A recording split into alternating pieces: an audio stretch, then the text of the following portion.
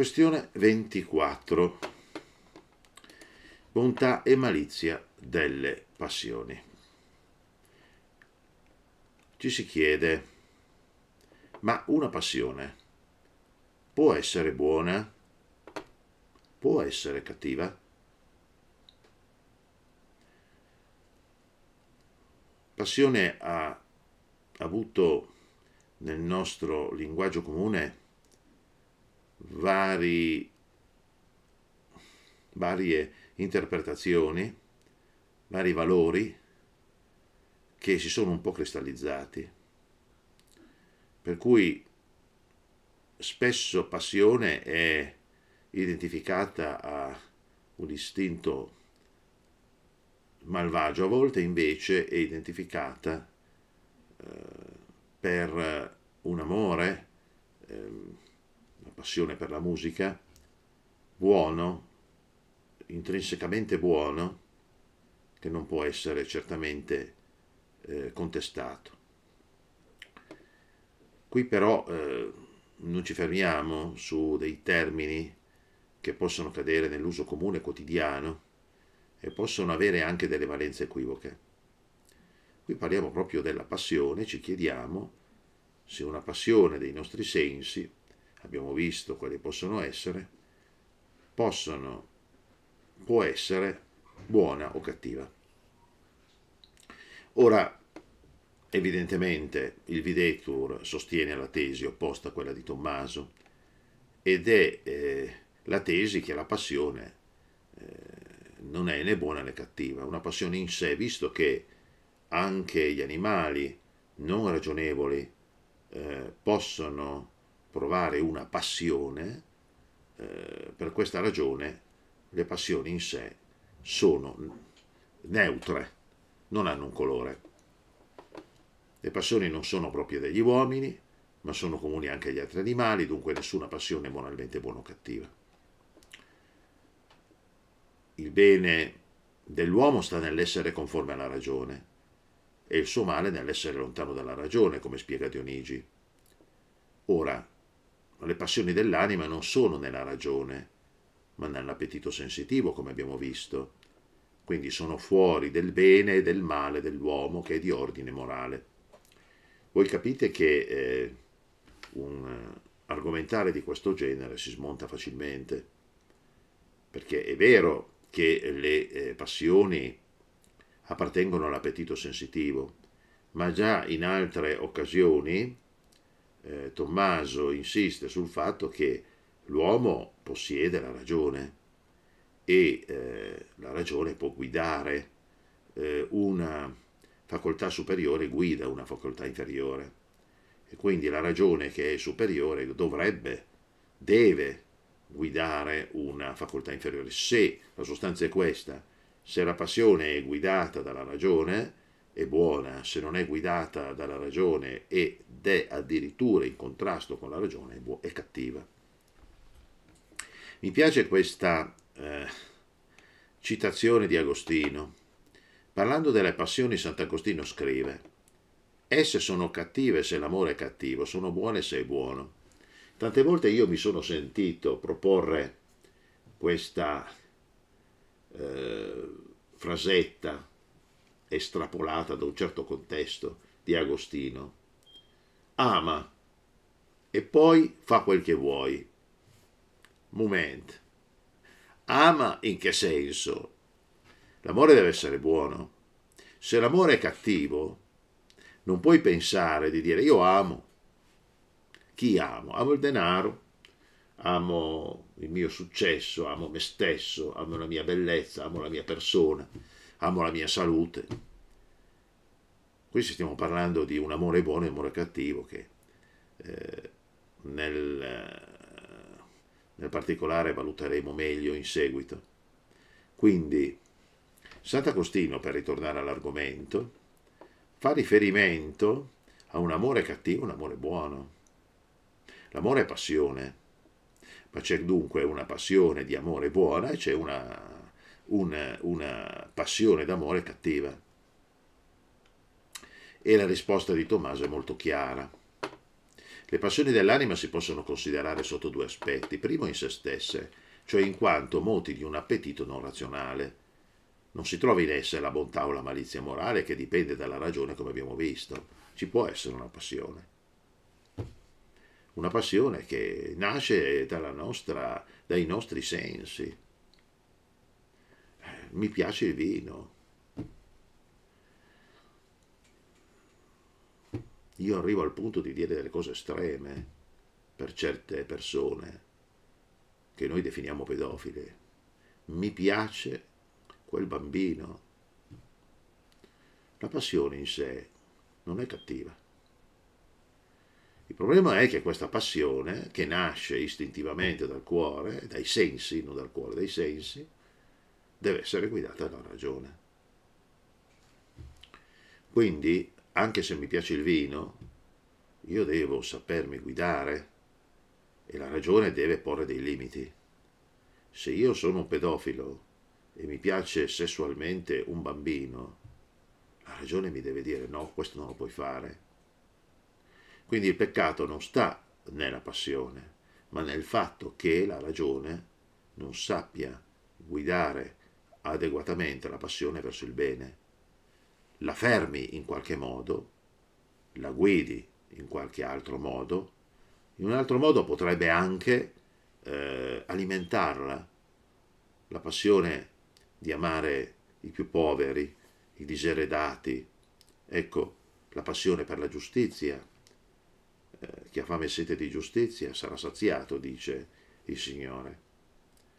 Ecco allora che queste passioni sono buone allora, in riferimento all'ordine razionale, la ragione deve guidare la passione. Quindi la passione è buona in una prospettiva, è cattiva in un'altra. Se invece si considerano come soggette al comando della ragione e della volontà, allora in esse si riscontra bontà e malizia morale, in quanto sono volontari o perché comandate dalla volontà o perché dalla volontà non sono ostacolate. Ecco allora che le risposte alle prime obiezioni sono abbastanza chiare. Codeste passioni considerate in se stesse sono comuni agli uomini e agli animali, ma in quanto comandate dalla ragione sono proprie degli uomini. E alla seconda obiezione, anche le facoltà inferiori sono denominate razionali, nella misura che partecipano in qualche modo della ragione, come si esprime Aristotele. Quindi è un pensiero che arriva oltretutto da molto lontano, non è un pensiero solamente cristiano, ma è un pensiero che arriva dalla cultura greca.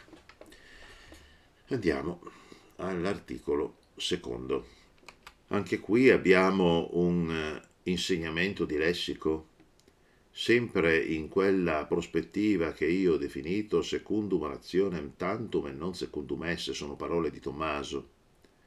Molto spesso un vocabolo si, eh, si presenta con eh, lo stesso suono, con le stesse lettere, con le stesse vocali, ma un significato differente.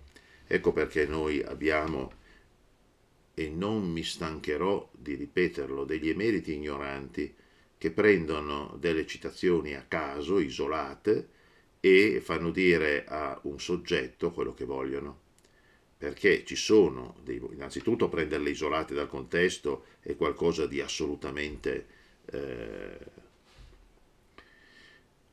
assolutamente irrazionale, ma poi lo stesso vocabolo può assumere dei significati differenti. E qui effettivamente ci possono essere delle difficoltà in riferimento a una tradizione che anche qui viene da molto lontano. Qui si parla sempre di Tommaso come se fosse il mondo eh, cristiano del Medioevo, quindi un mondo da trascurare. Eh, qui eh, il, la possibilità di confusione nasce da due correnti ben eh, distinte, gli stoici da una parte e i peripatetici dall'altra, che sono poi eh, coloro che portarono avanti il pensiero di Aristotele. Vediamo un po'. Sembra che tutte le passioni siano moralmente cattive. Sì, se la si vede eh, nella eh, prospettiva degli stoici. Ma eh, affrontiamo poi questo argomento dopo nel rispondere. Il Damasceno afferma Attenzione che questa è un'altra riflessione che per me è importante, che l'operazione è un moto secondo natura, l'operazione, mentre la passione è contro natura. Ma quello che è contro natura nei moti dell'anima presenta l'aspetto di peccato e di male morale. Dunque, qui Damasceno fa riferimento ai moti del cuore e Tommaso risponde, in ogni passione psicologica c'è un aumento o una diminuzione del moto naturale del cuore. Questo lo proviamo tutti, no? Quando abbiamo uno spavento, quando abbiamo eh, una gioia particolare, quando eh, c'è uno stato eh, di attesa. Il cuore, eh, ecco perché gli antichi dicevano eh, che il cuore ancora oggi in una metafora diventa il centro dei sentimenti, perché il cuore risponde, risponde a, questa, a questo cambiamento naturale di condizione. Ecco perché Damasceno dice quando c'è un cambiamento naturale eh, nella pulsazione del cuore, ecco che lì ci troviamo di fronte alla passione e le passioni dunque sono cattive perché vanno contro la natura, cioè cambiano quel ritmo regolare che è del cuore. Ma Tommaso insiste, in questo essa salva l'aspetto di passione, ma non è affatto necessario che la passione esca sempre dall'ordine della ragione naturale. Ossia, ci può anche essere un movimento del cuore eh, al di fuori di una regola standard eh, che eh, rivela sì la presenza di una passione, ma può anche esserci una passione eh, ragionevole, anzi una passione eh, guidata dalla ragione. E questo commento che eh, mi viene riportato nel testo a cui io faccio riferimento mi lascia un po' perplesso, perché dice, per gli antichi il cuore era la sede fondamentale delle passioni, Ecco perché ogni alterazione dei suoi battiti poteva essere considerata una cosa innaturale da chi pretendeva di mantenere una impassibilità assoluta di fronte a qualsiasi avvenimento. È vero, noi oggi diciamo la passione non dipende più dal cuore, tutti i movimenti arrivano dal cervello, è lì che è il centro eh, della diramazione eh, di tutto l'apparato eh, neurologico del, dell'essere umano. Eh, però il cuore è, eh, è, un po' come un termometro e questa riflessione che il cuore a un certo punto ci dà uno stato di ansia non naturale non è proprio così assurda. E quindi queste ultime tre righe mi lasciano perplesso. Oggi questo modo di concepire la perfezione morale ci può sembrare persino ridicolo, poiché l'equilibrio psichico e la stessa salute fisica è da noi concepiti in maniera dinamica, cioè come elasticità di reazione e di adattamento, non è ridicolo per niente. Perché quando il cuore eh, ci dà delle, eh, degli avvertimenti, dei segnali, eh, dove eh, per ragioni di esperienza, ma anche per passioni, eh, che possono essere positive come negative, eh, ebbene il cuore diventa un campanello d'allarme. Eh, tachicardia, aritmia, estrasistole, eh, sono tutte delle, eh, dei campanelli d'allarme a cui bisogna fare attenzione. E eh, naturalmente non conoscendo in medicina tutto quello che oggi si conosce, eh, in un certo senso gli antichi hanno anticipato la macchina della verità, che non fa riferimento solamente al cuore, ma fa riferimento un po' a tutte le reazioni che eh, ci possono essere in un organismo nel momento stesso in cui ha eh, prova delle eh, passioni. Sono proprio, non possiamo chiamarle passioni specifiche, ma dei mutamenti di umore. In ogni modo, il discorso è questo. Eh, abbiamo l'obiezione che dice, eh, nel momento stesso in cui eh, il ritmo naturale del cuore viene, ehm, viene snaturato, eh, e questo capita con la passione, eh, vuol dire che c'è qualcosa che non va. E quindi la passione è negativa. Tommaso dice sì, può capitare che il ritmo naturale del cuore possa essere mutato, però non vuol dire, questo ci può, può essere il campanello d'allarme che ci dice c'è una passione in atto, ma non è detto che la passione in atto sia una passione negativa, nel senso stesso eh, che eh, abbiamo visto nell'articolo precedente, se è guidata dalla ragione è una passione più che mai legittima. Dunque, 3.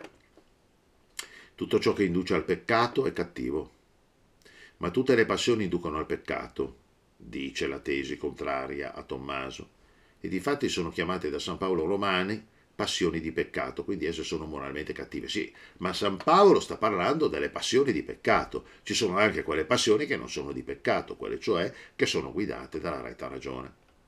E qui di nuovo chiariamo il pensiero di Agostino. Ama e poi fai quel che vuoi. Vediamo un momentino che cos'è l'amore retto. Perché è facile sparare eh, queste trovate e eh, presentarle in una prospettiva assoluta. Vediamo adesso quell'amare e poi fare quello che, fai quello che vuoi, da che cosa intende Agostino per ama e poi far quel che vuoi. Qual è l'amore retto? Si circonda di tutte codeste oneste affezioni. Innanzitutto si parla di affezioni oneste. Infatti, i giusti, l'amore retto, implica temere il peccato desiderare di perseverare, dolersi del proprio peccato, godere delle opere buone.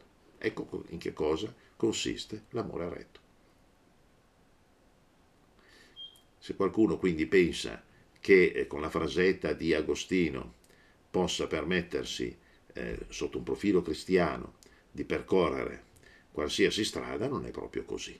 L'amore retto comporta quindi anche eh, questa riflessione eh, ci dice molto di Sant'Agostino e ci dice anche che esiste un amore retto e un amore non retto.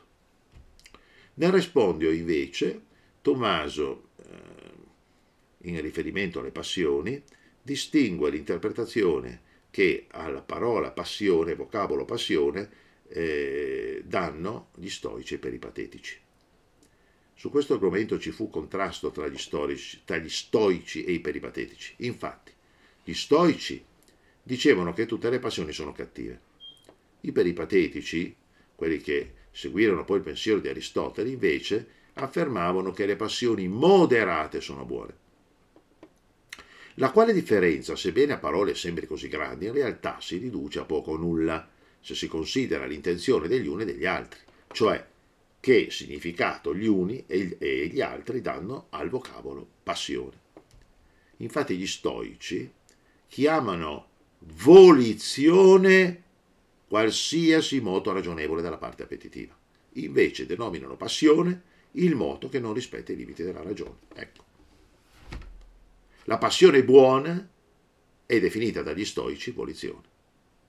Tutte le altre passioni cattive sono definite passione in modo generico.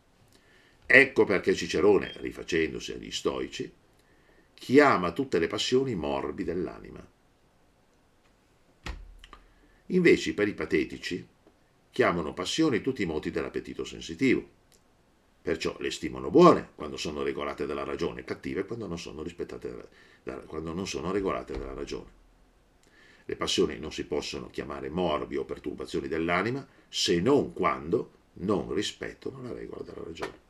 Quindi abbiamo chiarito anche questo pensiero, ma quel che mi piace anche, mi ha dato l'occasione eh, questo articolo, l'articolo 2 della questione 24, di chiarire il pensiero di Sant'Agostino, perché troppo spesso mi si dice di fronte alle mie riflessioni di carattere teologico e anche filosofico, ma Agostino ha detto ama e poi fai quello che vuoi. Momento, l'amore cui fa riferimento Agostino è l'amore retto, che si nutre di oneste affezioni, che teme il peccato, che desidera perseverare, che si duole dei propri peccati, che gode delle opere buone. Non è un amore così vago. Hm? Andiamo perciò all'articolo 3. Sembra che una qualsiasi passione diminuisca sempre la bontà dell'atto morale. Io non sono d'accordo assolutamente su questa tesi. Tommaso concede a questa tesi qualcosa. Comunque, vediamo. Ogni passione intralcia il giudizio della ragione. Scrive infatti Sallustio. Tutti gli uomini che deliberano su cose scabrose devono spogliarsi dell'odio, dell'ira, dell'amicizia e della misericordia. Dunque, qualsiasi passione diminuisce la bontà dell'atto morale. Cosa si intende qui? Si intende che se io vedo, esempio, un povero indigente, senza pensarci due minuti, io lo aiuto. Questa è una passione non guidata dalla ragione e sembra quasi che questa passione diminuisca il valore dell'atto morale. Certo, se una cosa così isolata, momentanea, istintiva, ha ben poco di morale, perché abbiamo detto più di una volta che tutto ciò che riguarda in modo assoluto i sensi non è né morale né immorale. Però eh, io vorrei insistere sul fatto che eh, tutto un progetto di vita può nascere anche da eh, una eh, passione eh, così ehm, non razionale, una passione che eh, ci arriva così direttamente dai sensi. Anche perché i sensi, insomma, sono guidati naturalmente eh, verso il bene, non solamente verso il male, sebbene poi dovremo tenere in considerazione anche del, il peccato d'origine, ma eh, questa è una riflessione che vedremo in un secondo momento. Su eh, questa obiezione Tommaso risponde così. Le passioni possono avere due rapporti diversi con il giudizio della ragione. Primo, possono essere antecedenti, in questo caso oscurano il giudizio della ragione. Infatti, è più lodevole fare un atto di carità per il giudizio della ragione che farlo unicamente, unicamente, mossi dalla passione della misericordia. Qui si dice antecedenti, poi si dice unicamente. Allora, se unicamente, abbiamo detto, mossi dalla passione eh, dei sensi, non abbiamo né un'azione morale né immorale. Ma se semplicemente antecedente la passione alla riflessione razionale, per me non toglie nulla, perché, facciamo l'esempio di Madre Teresa di Calcutta, eh, nasce, almeno dalle sue eh, testimonianze, il desiderio di darsi al servizio dei più poveri eh, alla vista di un povero che giaceva così abbandonato per terra. E in quel momento eh, Madre Teresa di Calcutta è mossa eh, da una passione eh, che è dettata sostanzialmente dai sensi. Poi però se su questa passione, e può anche essere questo uno strumento divino di illuminazione, su questa passione poi interviene la ragione e eh, regola questa passione, addirittura eh, riesce a eh, riscaldarla maggiormente, a motivarla, ecco allora che la passione assume un inizio che eh, è carico di meravigliosi sviluppi. Comunque noi sappiamo che Tommaso è eh, attaccato molto alla ragione, eh, per cui eh, non può far che dire eh, e sostenere questo pensiero. Prima la ragione che comanda ai sensi. I sensi che si muovono da soli ehm, non hanno di per sé, eh, non producono di per sé un'azione morale degna eh, di importanza. Indubbiamente eh, c'è eh, un richiamo al uh, modo di fare del bene oggi, che eh, diventa a volte una moda, a volte una passione momentanea, oggi c'è, domani non c'è.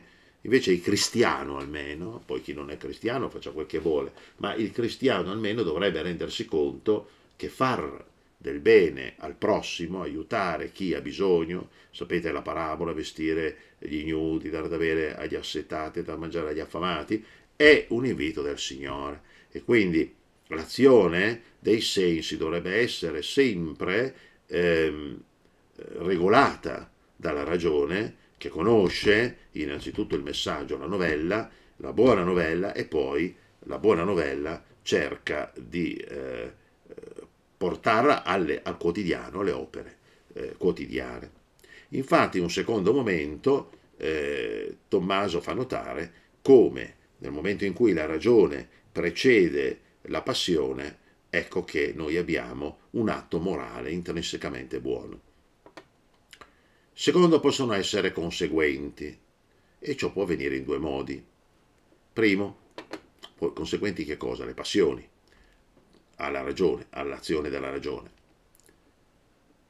Per ridondanza, quando la parte superiore dell'anima vuole così intensamente una cosa, da derivarne un moto anche nella parte inferiore di essa. E allora la passione, che consegue nell'appetito sensitivo, è segno dell'intensità dell'abolizione, sta a indicare una bontà morale superiore. Pensate a Padre Pio, che eh, eh, sta contemplando il crocifisso, che conosce la vita di Cristo, che ha letto il suo pensiero, le sue parole, il suo invito, ed ecco che ha una volizione legata alla conoscenza, una volizione così forte che poi coinvolge anche tutto eh, l'aspetto sensitivo della sua persona e si dà ad operare. Si dà ad operare nel quotidiano. Ma ci potrebbe anche essere una scelta deliberata non una scelta d'amore. Vedo l'amore di Cristo, io sono travolto da questo amore e voglio anch'io amare. No, una scelta ragionata. Io sono cristiano, queste sono le parole del Signore, bene, la ragione deve imporre un'abolizione che diventa necessaria affinché io viva effettivamente questa vita cristiana. Cioè quando un uomo a ragion veduta delibera quindi è un'azione della ragione di farsi prendere da una passione, per, per agire con maggiore prontezza mediante la cooperazione dell'appetito sensitivo e allora la passione cresce la bontà dell'atto. Non c'è dubbio che eh, se eh, la passione non nasce solamente eh, dal senso e dall'anima sensitiva, è decisamente più consapevole e travolgente. Però insisto sul fatto che anche una passione eh, che eh, agisce eh, attraverso in un primo momento una passione tutta legata all'aspetto sensitivo può essere, può aprirci una strada meravigliosa perché su questo poi eh, si può muovere la ragione, si può muovere la volizione, quindi le parti superiori eh, del, dell'uomo, quindi l'aspetto intellettivo e le sue rispettive facoltà. Dunque, andiamo avanti. Più l'atto umano somiglia a Dio, più vale. Infatti l'Apostolo scrive, fatevi imitatori di Dio come figli beneamati. Ma come si esprime Sant'Agostino? Dio e gli angeli santi puliscono senza odio, soccorrono senza provare compassione per la miseria. Io ho già messo eh, un po' un punto in interrogativo sugli angeli che soccorrono senza provare compassione, eh, no? Su, sull'odio d'accordo, ma, ehm, ma l'abbiamo già, eh, questo argomento l'abbiamo già visto. Però eh, questa, eh, questa, osservazione non sta in piedi. Fatevi imitatori di Dio come, come figli beneamati. E allora si parla degli angeli, dei, e, e, e, di Dio e degli angeli. Eh, Dio, ma parliamo anche semplicemente degli angeli, sono puro spirito. Quindi io posso imitarli, mi posso avvicinare a Dio in modo indefinito alla condizione dell'uomo di Dio, ma dobbiamo ricordarci che noi siamo fatti anche di corpo e questo lo comprese bene nella sua sapienza infinita Cristo, che lasciò uh, ai cristiani dei, eh, delle materie, che sono poi quelle materie legate ai sacramenti, se non, non ebbe a lasciare lui, l'ebbe a lasciare i suoi apostoli, il pane, eh, il pesce, il vino, la saliva, il fango, l'acqua, ehm, l'olio. Capite? Ehm, non possiamo noi imitare gli angeli sotto l'aspetto eh, dell'anima sensitiva. Gli angeli non hanno, gli angeli non hanno quest'anima. Quindi è un'obiezione che non sta in piedi. Agostino insegna che la passione della misericordia è sottoposta alla ragione quando si accorda la misericordia in modo da conservare la giustizia, sia nel soccorrere gli indigenti che nel perdonare i pentiti. Ce le ricordiamo queste citazioni di Agostino? Oggi la misericordia è intesa in modo completamente sviato e sviante. La misericordia deve essere sottoposta alla ragione e la misericordia si deve accordare alla giustizia. Quindi, quando facciamo e proponiamo certe citazioni di Agostino, vediamo anche di ricordarci delle altre. Quindi niente di ciò che sottostà alla ragione diminuisce il bene morale. È chiaro che se la passione della misericordia, che non è guidata dalla ragione e non è guidata neanche dalla liberazione, dimentica completamente l'aspetto della giustizia, a questo punto noi abbiamo una passione che diminuisce il bene morale.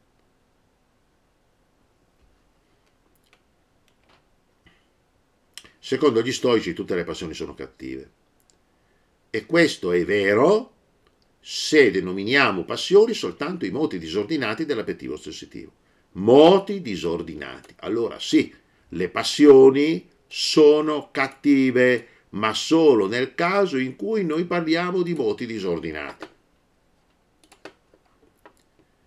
Ma se denominiamo passioni semplicemente tutti i moti dell'appetito sensitivo, allora vediamo che anche le passioni moderate dalla ragione contribuiscono alla perfezione del bene umano. E certo, perché siamo fatti di anima e di corpo. Quindi anche nostra, il nostro aspetto dei sensi deve essere coinvolto. Perciò essendo l'appetito sensitivo capace di essere sottoposto alla ragione, però deve essere sottoposto alla ragione, altrimenti ci troviamo di fronte a delle situazioni quanto mai scabrose, come abbiamo spiegato, conferisce alla perfezione del bene morale o umano che le passioni stesse siano regolate dalla ragione. Così come si esprime Salmo 83.3. Vedete questo salmo, i salmi che non si commentano mai e che sono invece eh, rivelatori. Il mio cuore e la mia carne esultano verso il Dio vivente, prendendo come cuore l'appetito intellettivo e come carne quello sensitivo.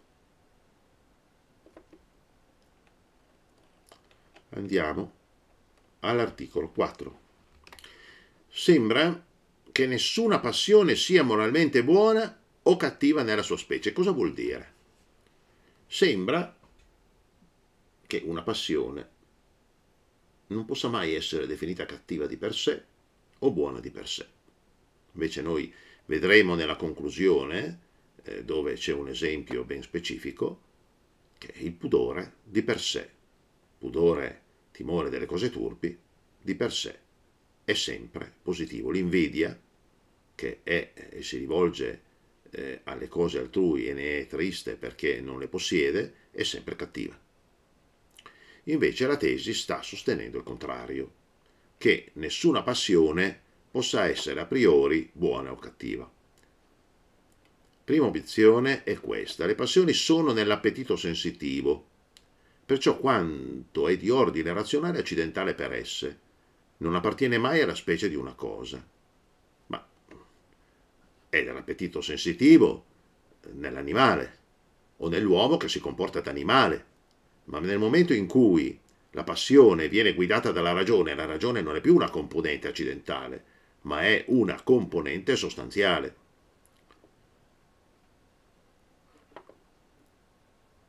L'obiezione quindi considera le passioni nella loro specie fisica, cioè considerando l'appetito sensitivo in se stesso, senza che questo appetito sia guidato dalla ragione, ma quando l'appetito sensitivo obbedisce alla ragione, non è più accidentale, bensì essenziale. Ed è, questo, eh, è questa guida della ragione che dà all'atto eh, l'attributo di morale o immorale.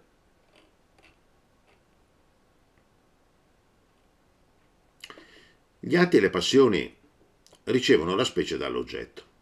Perciò, se una passione dovesse essere specificamente buona o cattiva, bisognerebbe considerare specificamente buone le passioni aventi per oggetto il bene, amore, desiderio, gaudio, e specificamente cattive le passioni aventi per oggetto il male, odio, timore, tristezza. Ma ciò è evidentemente falso. Perché evidentemente falso? Non è sufficientemente spiegato qui il pensiero ma perché molto spesso noi abbiamo l'amore per qualche cosa, io ho l'amore eh, per la bottiglia di vino, io ho il desiderio eh, della moglie del mio amico, io eh, sono felice e gioioso per eh, il fallimento eh, di una persona che eh, mi sta sullo stomaco. voi capite male, l'odio, timore, timore di essere e di professarsi cristiani. Eh, voi capite che... Eh, no, no, scusatemi. Eh, dunque, male, eh, timore quindi è, è, qualcosa di cattivo. Però se il timore, ad esempio, è timore di Dio, eh, nel rispetto è qualcosa di buono, no? Eh, anche l'odio per, per le cose scabrose è una cosa buona. Allora uno dice, ma Oggetto bene, abbiamo delle passioni che potrebbero essere cattive. Oggetto male, ci potrebbero essere delle passioni che potrebbero essere buone. Specifica Tommaso, non stiamo parlando solamente di bene e male così in, in, in una prospettiva generica, stiamo parlando del vero bene e del vero male. Le passioni che tendono al bene, se si tratta di vero bene, sono buone, così pure quelle che si allontanano dal vero male. Quindi quindi ritorniamo al discorso di prima, eh, il desiderio della donna eh, di un amico, della moglie di un amico, ben, questo desiderio, l'oggetto è eh, l'adulterio, è evidente che stiamo desiderando qualcosa che non è un vero bene, è un male. Gaudio, la gioia per la disgrazia altrui, eh, la disgrazia altrui non è un vero bene, è un male. Quindi eh, se eh, l'oggetto è il vero bene e il vero male, noi abbiamo l'amore, il desiderio, il gaudio, non possono altro che essere passioni positive eh, appartengono a una specie, la specie moralmente buona, mentre invece eh, l'odio, il timore e la tristezza appartengono a una specie cattiva. Non vi è una specie di passione che non si trovi anche negli altri animali. Invece il bene morale si trova soltanto nell'uomo qui siamo al limite, negli altri animali l'appetito sensitivo non obbedisce alla ragione. Quindi di per sé non si può parlare di un'azione buona. No? Qui è un argomento quanto mai delicato perché c'è molto spesso qualcuno che dice, ne abbiamo già parlato, ma eh, dovremmo imitare gli animali, sono più buoni degli uomini. Sono più buoni degli uomini a volte, molto spesso, perché seguono un istinto di natura eh, e a volte sembrano essere più misericordiosi e tolleranti degli stessi uomini. Ma attenzione che questo istinto di natura è un istinto che hanno loro intrinsecamente, per cui c'è una certa moralità, ma è una moralità un po' come abbiamo spiegato prima, l'atto eh, morale eh, che eh, nasce così spontaneamente dai sensi senza essere sufficientemente valutato. Eh, quando noi cioè agiamo anche bene, ma guidati dai sensi, non dalla ragione.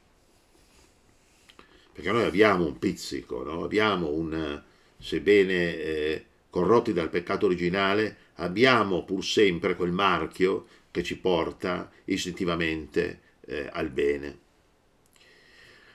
Tuttavia, in quanto è guidato da una certa estimativa naturale, che è eh, l'ordine voluto da Dio, sottoposto a una ragione superiore, che è quella divina, si trova in essi, rispettivamente alle loro passioni, un certo aspetto di bene morale, un certo aspetto, ma non possiamo definire le eh, azioni degli animali morali o immorali in sé.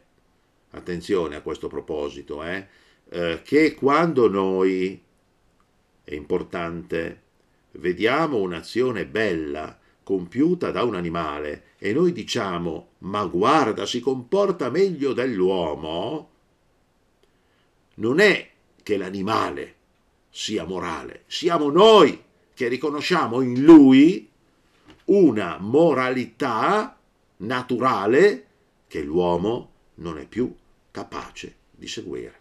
La fedeltà di un cane. Molti dicono è meglio avere un cane vicino che un essere umano. Oggi non ci si può fidare più di nessuno, almeno del mio cane io mi fido. Ma attenzione, il cane non ha nessun merito. Siamo noi, attraverso la nostra ragione, che ci rendiamo conto che ci sono delle leggi morali universali. E queste leggi morali universali, che molto spesso la società godereccia ha perduto, le ritroviamo negli animali.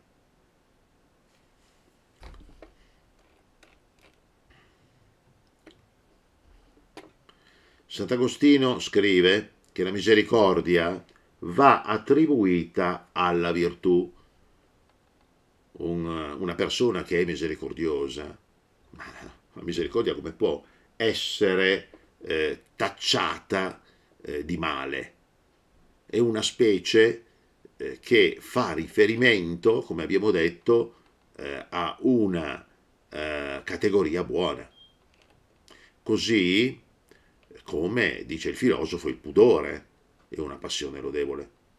Dunque ci sono delle passioni specificamente buone o cattive. Rispondo. E con questo concludiamo la questione 24. Dobbiamo ripetere a proposito delle passioni quello che abbiamo detto a proposito degli atti. Questione 1, articolo 3 a 3, questione 18, articolo 5 a 6, questione 20 a 1. E cioè, che la specie degli atti e delle passioni si può considerare sotto due aspetti. Primo, come entità fisica, e in tal caso il bene e il male morale non determinano una specie dell'atto e della passione. Entità fisica è la passione dei sensi, non regolata dalla ragione, eh, vista in una prospettiva assoluta, e lì non c'è un atto morale o immorale, perché è una cosa immediata, non guidata né dall'abolizione superiore né dalla ragione secondo come entità di ordine morale, cioè in quanto partecipano la volontarietà e il giudizio della ragione. In questo senso il bene e il male morale possono specificare una passione.